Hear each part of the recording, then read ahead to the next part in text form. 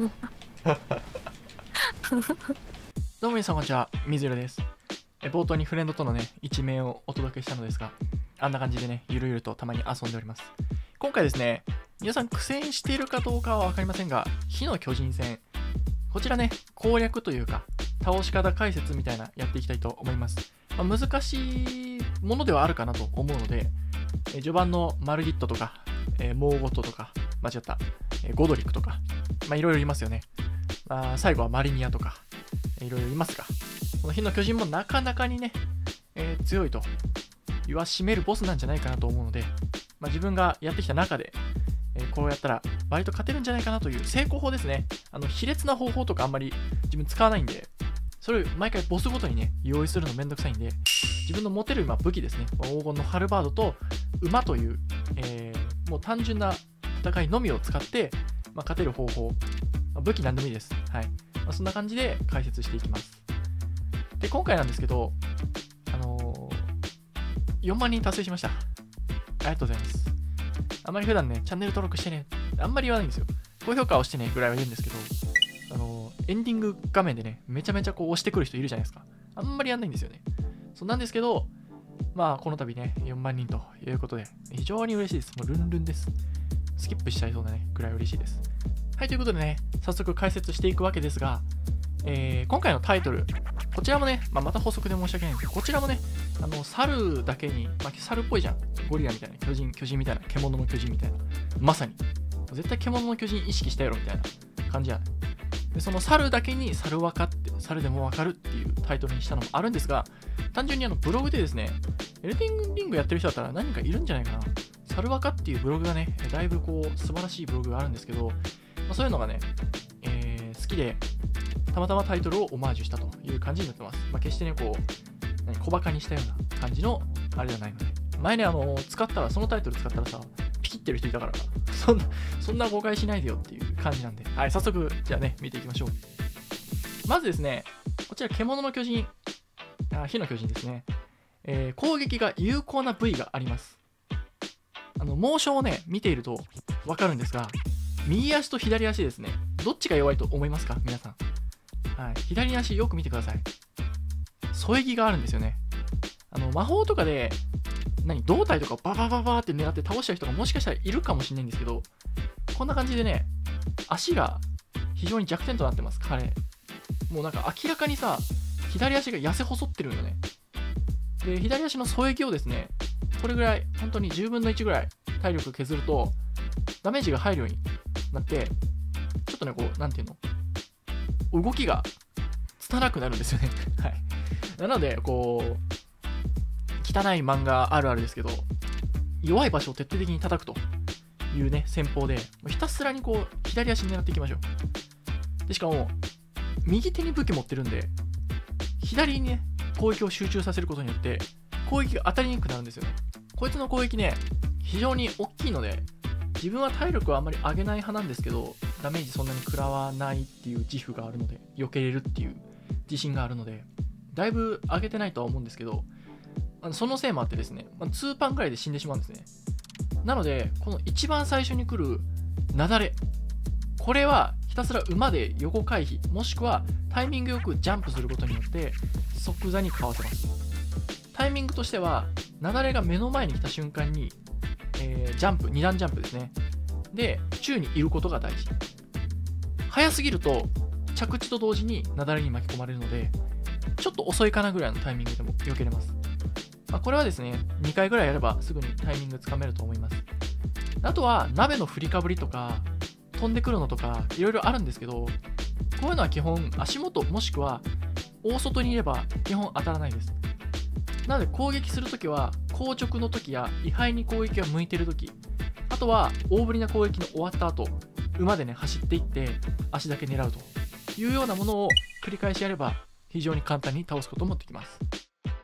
で今回ね、注意すべきところなんですが、最初の雪崩だったりとか、非常に大きな間合いでの攻撃だったりっていうのはあるんですけど、それ以上に自分が嫌だったのは、まあ、炎ですね。炎の遠距離で飛ばしてくる攻撃が非常にね強力なんだよね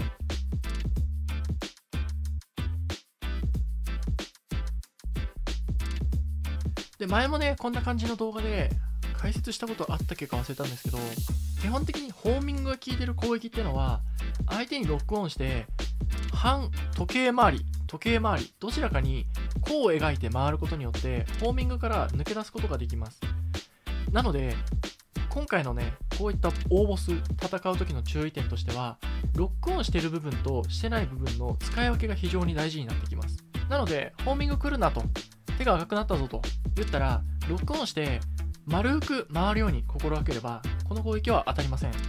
さっきの負けた部分のクリップもなんで当たったかっていうと縦にね、えー、平行垂直に逃げてしまったからというのがね見てればわかると思います。で自分の場合はね攻略とか見なかったのでこの添え木とかに関しても分かってないので、まあ、2回3回ぐらいは攻撃が全然通んないなっていうことでちょっと苦戦したんですね。なんですけど基本的に左足がダメージが入りやすいのでまあ、今回ね苦戦してますよということでこの動画を見に来てくれた方はとにかく左足をね徹底的にやりましょう。あの怪我してるのをついてね卑怯な戦法に思えるかもしれませんがもうそもそも体格差が違うんでもう弱点を攻撃したところでも補いきれないぐらいのねハンデ差はあるので心置きなく左足を徹底的に狙っていきましょう。でですねこいつもしかりだし今回のボス、まあ、特に後半よりかな、まあ、大体ね、こう第2形態が存在しておりまして、第2形態だと動きは鈍くなるけど、ちょっと攻撃するタイミングが伺うのが難しくなる攻撃がね、ところどころ出てくるようになります。で、逆に動かないからこそ、周囲に対しての攻撃が増えたりとか、あとはこう、お前そこの攻撃判定あるんかみたいなやつでね、攻撃当たったりとかもするので、まあ、その辺に注意しつつ、自分の攻撃できるタイミングっていうのを見極めましょう。で攻撃できるタイミングなんですけど大まかに分けて2つ。でまず1つなんですけどこちらは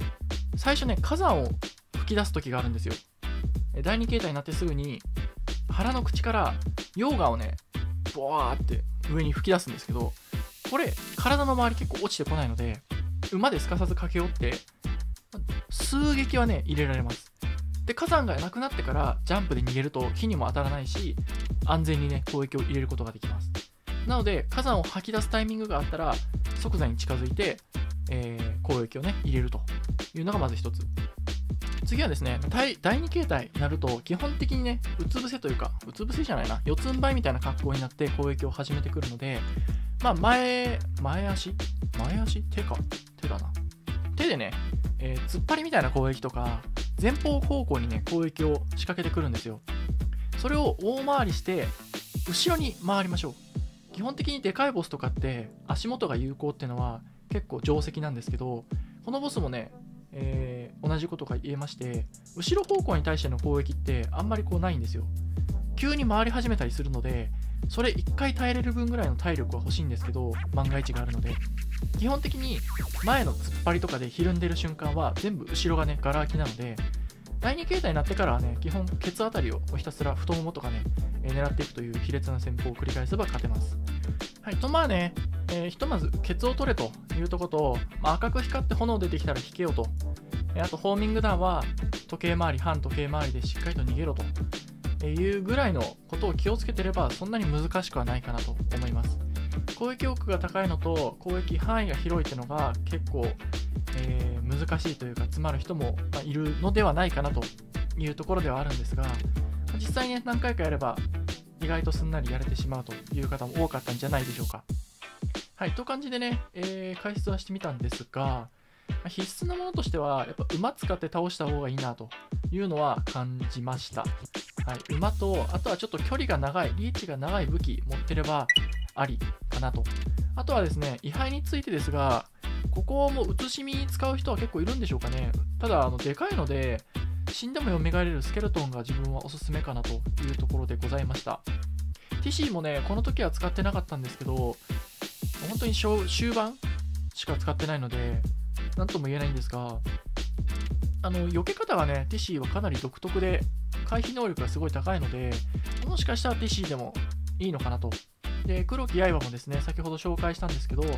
ここではですね、まだゲットしてなかったので、あのーもしかしたらかなり効きがいいのかもしれません。第2形態からのっていうボスで言うと、やっぱ体力が削れて始まるということで、まあ、こういったね、第2形態が強いボスにとってはかなり有効な武器ではあるので、そういうのもありかなと思います。はい、ということでね、今回はまあ確定必勝法とか、えーそういう感じじゃないんですが、まあ、3回、4回ぐらいやってかな、えー倒した中で、まあ、こういうとこ気をつけたらよかったのかなっていうところを少しまとめてみました。まあ、ぜひね、皆さん、火の巨人、頑張って倒してみてください。ということで、今回は以上でございます。参考になったら高評価よろしくお願いします。また次回の方でお会いしましょう。バイバイ。